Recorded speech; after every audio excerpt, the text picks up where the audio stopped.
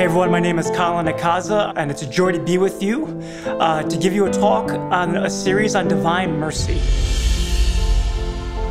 Dive deep into love and compassion, where you'll find a sanctuary of serenity and grace. So, throughout this series, I want you to keep a little acronym of FINCH, so Feast of Divine Mercy, Image, Novena, Chaplet, and Hour.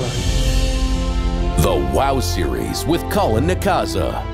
Starting Monday, November 13th at 8 p.m. Divine mercy itself is literally Jesus Christ pouring out his sacred heart to all of us who are in misery right now.